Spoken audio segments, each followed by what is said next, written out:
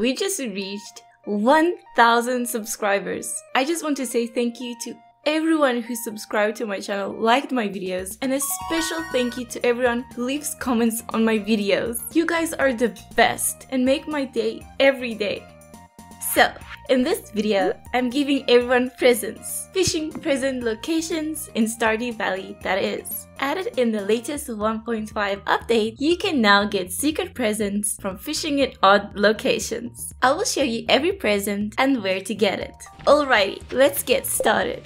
Let's start with the most interesting and intricate secret fishing present, the Iridium Krobus. To get your hands on the Iridium Krobus, you will need to be level 10 fishing, so keep fishing until you get level 10. Then you need to cook seafoam pudding. Seafoam pudding needs a squid, a midnight carp, and a flounder to be cooked. But there's a problem. This food only gives plus 4 fishing. And that's not quite enough. That's where Qi's seasoning comes into play. It will buff any cooked food to increase the total number of stat bonuses it gives. So, by using Qi's seasoning, the seafoam pudding now gives plus 5 fishing. To get Qi's seasoning, you just need to get 100 golden walnuts and purchase it at Mr. Qi's golden walnut room for 10 Qi gems. It's pretty cheap and definitely worth it. You can also use it to buff food that gives luck and attack bonuses. After crafting the boosted seafoam pudding, just cast your fishing rod at maximum range while standing on the sewer pipe. You will then catch a prison box with an Iridium Krobus statue. You have to admit, the Iridium Krobus statue is pretty cool looking.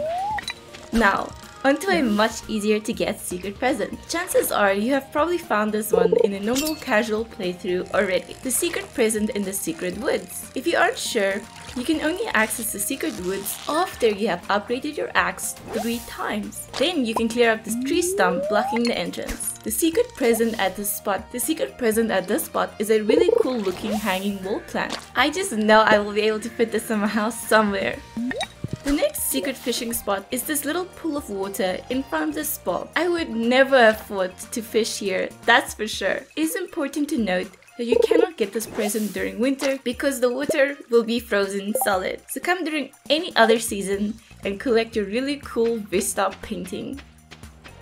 Now, for another easy to find present, right here at the fountain in front of the community center. Who would think to fish here? And the drop chance for this present is pretty low. So some people might try to fish here and get stone and a bunch of other items and then give up. But seriously, the drop chance is really low here. So be patient and keep on fishing. It is most definitely worth it because the contents of this present is a trash can. Yeah, it's a trash can. Not actually worth it, but I guess it can be used as a decorative piece or if you're a completionist. I am sure you will want to add this to your collection to the desert for our next secret fishing present. This one is very well hidden. You go down from the bus stop to this bench and then cast your fishing rod into the oasis down here. You can even catch fish here like the scorpion carp and the sandfish. But we are more interested in the present. The present is a pyramid wall decoration. It looks cool, but I have no idea where would put this in my house. This fishing spot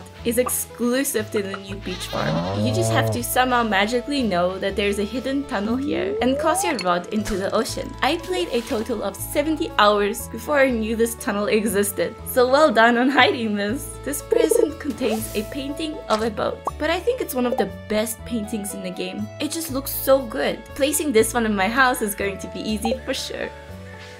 The last fishing present is at Willy's boat. You will need to complete the community center to get access to the boat room behind the door in Willy's fishing store. Just cast your fishing rod into the water and after a few attempts, you will get your very own life buoy that you can hang in your house.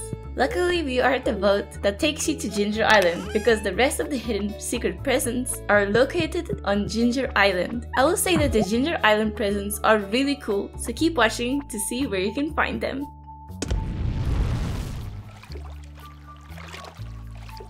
The first secret present on Ginger Island is at the Pirate Cove. To unlock the secret present, you'll need to find quite a few golden walnuts and restore the beach resort right in front of the dock. It will cost you 20 walnuts, but I will highly recommend unlocking some of the other locations first, like the Ginger Island Farm. A pathway will open up to the right of the beach, and you will find a cool little cave here called the Pirate Cove. If you come on any even day after 8 pm, there will be a bunch of pirates here that you can talk to and play darts with. The darts minigame is really fun, and you can get some golden walnuts if you win. If you fish in the large pool of water, you will be able to catch a stingray, and more importantly, you can get a secret present. It's a statue of this frog guy. This would make a pretty nice outdoor decorative piece.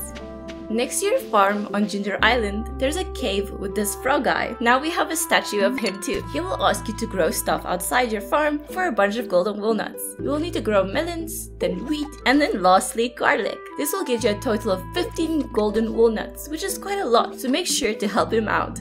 If you choose to fish in the green water in this cave, you can get a frog hat. The drop chance of this fishing present is very low, and you will get plenty of useless stuff like old newspapers and twigs, but be patient, you will get that cool frog hat eventually.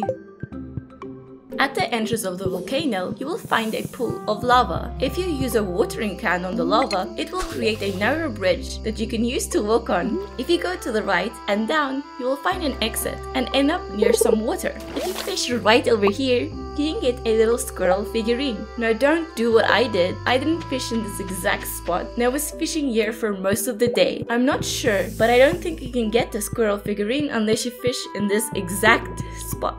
There is this hidden path over here that takes you to a spot with a hidden golden walnut. If you stand right up on this wall and cast your fishing line into the water on the other side, you can get another present. These things are very well hidden I must say. You will get another painting, a painting of a flourish, another pretty good looking painting.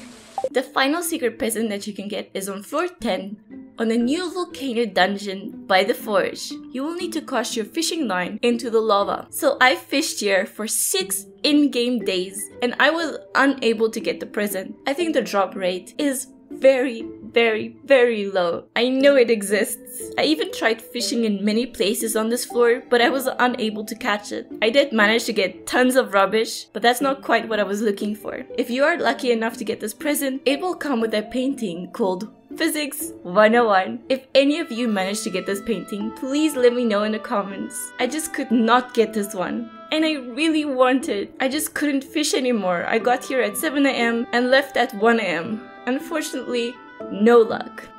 I have placed all of the presents in my little Ginger Island house.